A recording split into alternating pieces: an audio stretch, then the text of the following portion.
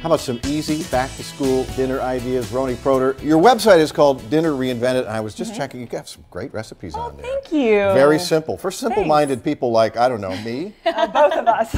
well, you know, being a parent, you know that you need to get dinner on the table quickly. And I think, especially this time of year, we can barely get our kids out of the house and Right. with a packed lunch. And then we're like, now what? What are we going to do for dinner? So I really like the idea of preparing simple idea dinners. And a lot of these items are things that you already have in your pantry or your freezer. If you're smart and you keep your freezer packed, you can really make dinner any night of the week. What do you got? Okay, so here is a shrimp pasta with peas, and I know that you're a fan of peas. I love my peas. I'm the only one in the house, though. And frozen peas are a great way to um, prepare and save the nutrients in a pea. So here's what I do I take some shells, I put them in boiling water, right? So here's our boiling water. I pour them in. I cook it for like seven minutes, mm-hmm. right? We want al dente pasta. Seven minutes. Then I add frozen shrimp and peas directly to the water. Oh, really? Right? Before you've drained it. Yes, exactly. So now it's poaching really nicely. It's cooking. Whoa, sorry, that's the water popping that. And then, sorry about that, Lauren. No, Woo!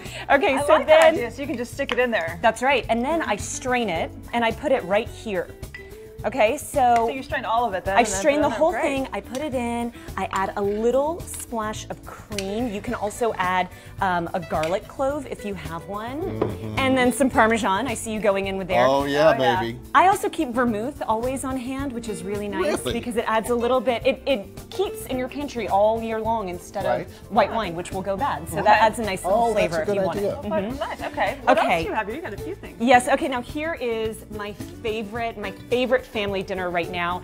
It is a Tex-Mex version of a chicken parmesan. Oh, it looks great. All right. So instead, here's what I do. I take some Chex, and you want to use corn so that it has that nice kind of crunchy corn consistency. I pound it out. I take my chicken breast. I put it in the egg mixture. Mm-hmm. Then I put it in the Chex Mix, and I pan fry it. Okay, so I, you just want to pan fry it for a couple of minutes, maybe. And here is the trick to making dinner cook even quicker. If you slice your chicken breast lengthwise in half, Right. it's thinner, it cooks quicker. cooks quicker. Right? So you coat sense. it really nicely. You pop it in the pan. And I like this because that's one less thing that's messy. Yes, you can pop- just throw that bag right. away, which is always nice. Uh-huh. And, And then, you fry then- for how long? I just fry it for a couple of minutes on either side and then I take it out and I top it with salsa. Now, here's the reason that Mrs. Renfro's mild salsa works really well. It's got a lot of flavor, but it's really mild in heat. Okay. So then that way your kids, their Will taste buds don't burn. Right, you put it there, top it with the salsa, put a little cheese, pop it in the broiler, and dinner is done. How long in the broiler? I put it for, I don't know, like five minutes. Just watch it because the broiler it's gets really hot. the top of it all. Uh-huh. And then I like it with a little black bean and corn over here with some avocado. You get nice green veggies.